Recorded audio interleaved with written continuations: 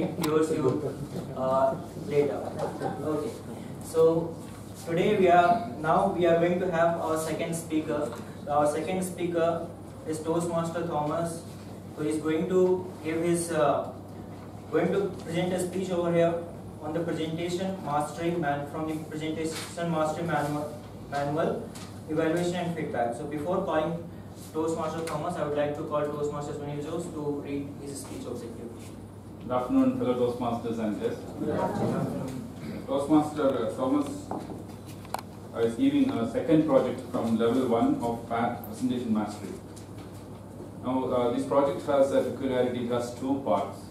So, he is giving the first part. The purpose of the project itself is to present a speech on any topic, receive a feedback, and apply feedback to a second speech. And he is giving the first speech, uh, which is the first part of that uh, project. The purpose of this speech is for the member to present a speech and receive feedback from the evaluator. What is Thank you, thank you, sir. So I asked Toastmaster Thomas sir that how do you relate this theme? Then he told this theme. Then he, he told me the thing that is completely opposite. He told me it is not facing the truth. It is creating the truth.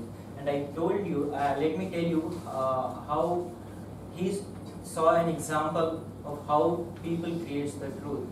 What happened? One of his colleagues' uncle uh, one saint was there. And he just told his colleagues uncle that you are going to die on next Friday, this particular time. This guy was very sure that he is going to die. So on that particular day, the day came, he took a chair early in the morning and he sat on that and he was waiting for his death. You know what happened? That guy died on exactly same time. So this guy created the truth. He didn't face the truth. Now, Toastmaster Thomas, he is he's he was the he, division I star in the last year, and uh, he was the speech craft and YLP coordinator for District 82 uh, in the in the previous term, and in this term he is the PR chair of District 82. Now, I would like to Toastmaster Thomas to come to this. Toastmaster Thomas, them and us, them and us, Toastmaster Thomas. Thank you, Chiyamodi. Good afternoon, dear guests and fellow Toastmasters. How many among you are fans of Kamala Hassan? My God, my God. Can some of the Kamala Hassan fans come forward to fill this site? Please. How many of you are Rajnikant fans?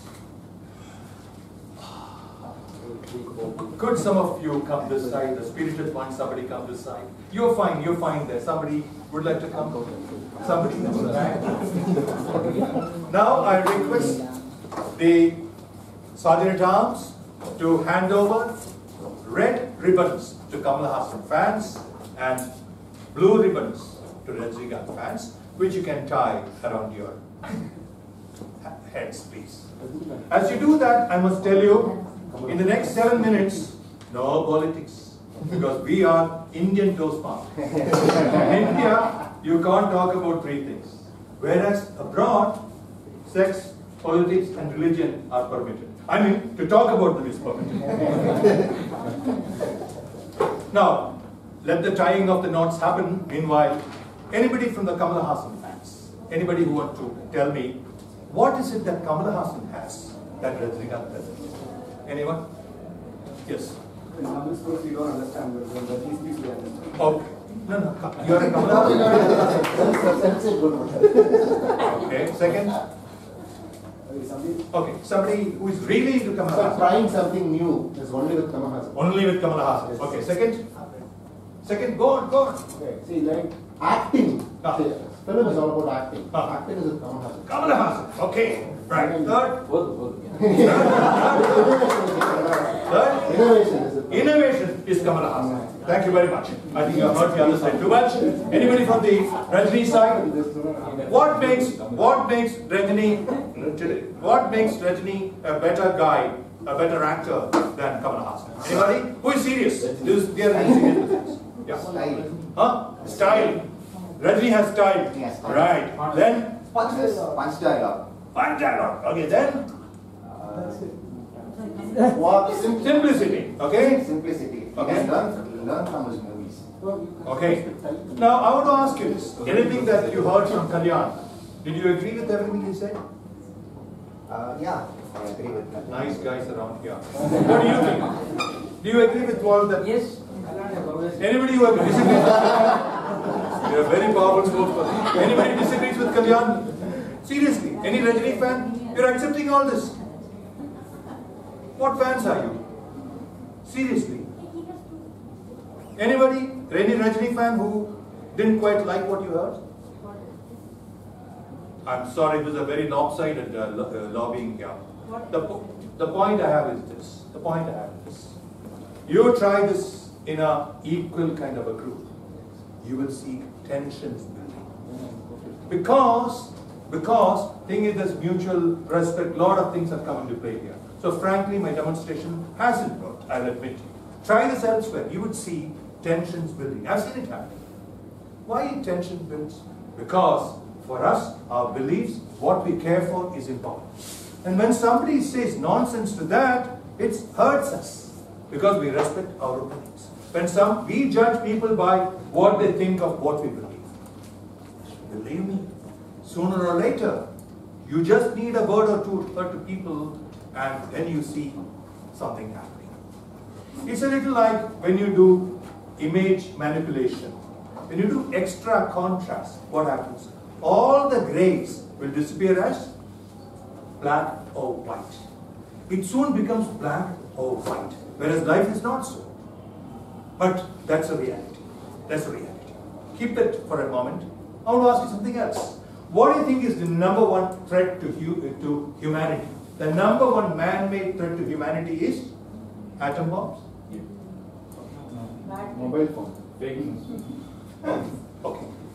Now I think you've got the past and the present and the future already because with the competitive stockpiling of atomic weapons by the developed countries, the atomic threat is more or less cancelled out. Fine.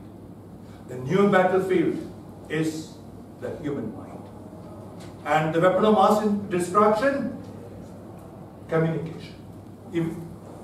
Information information therefore it's a new war strategy no blood is shed in the home country remotely you can do this provided you got a foolish country on the other side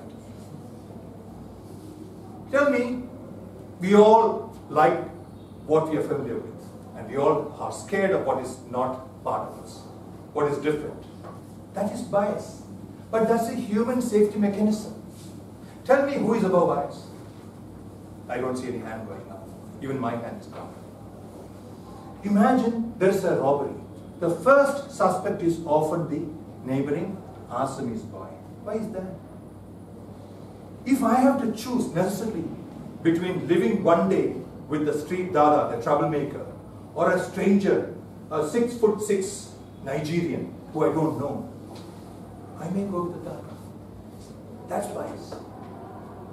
Yet, when I'm running around for a rare blood for my family, I wouldn't look at the color of the skin, or the size of the nose, or the eyes, or the color of the hair. I will happily receive that blood. Then what is this fuss about them and us? I'll tell you. Who is them and who is us? I'll tell you. When the time comes, whoever I will happily, gratefully, thankfully receive blood to save a life. That is us. Us, the humans. And the them, including, anybody has this here, including the poison that often flows through this. And all that who are behind you, who want to de- dehumanize us humans. They, all that is them. Us, the humans, our enemy is them. Thank you very much.